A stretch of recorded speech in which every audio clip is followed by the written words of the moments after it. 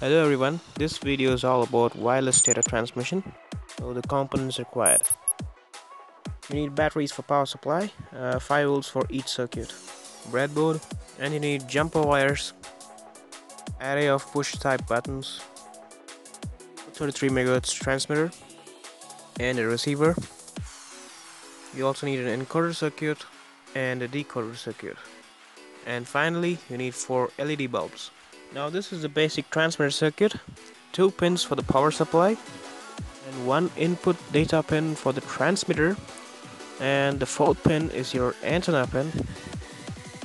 On your receiver circuit there are three ground pins, two voltage pins, there are two data pins and one pin for your antenna. Now all we gotta do is connect your transmitter to the encoder circuit. encoder circuit helps you to transmit multiple data. This circuit, you have to connect the data pin of the transmitter to the 11th pin of the encoder. Make sure the 14th pin of the encoder is grounded. This acts as a return path from your switch. In the receiver circuit, connect the second pin of your receiver to the 14th pin of your decoder.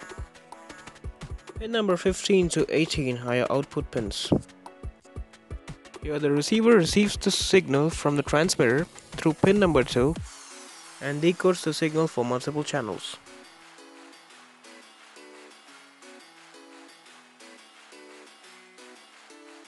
That's the one-dimensional array of push-type switch.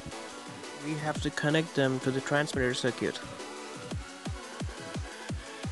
In this circuit, AD8 to AD11 are the input pins for the transmitter. That's going to be encoded by the encoder circuit and sent as one signal.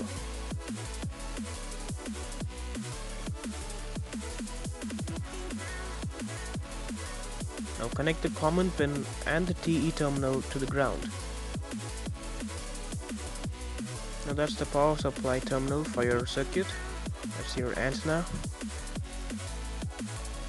Now I have taken the power supply from Raspberry Pi. The receiver circuit. Connect all the positive terminals of the LED to the digital pins of the decoder. Don't forget to ground your LED pins.